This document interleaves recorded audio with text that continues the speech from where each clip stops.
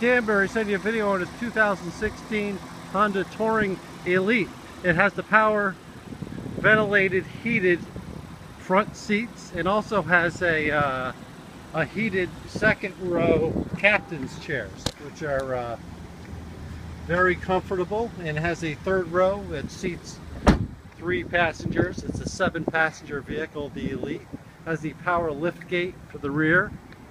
Also has the navigation and rear entertainment system.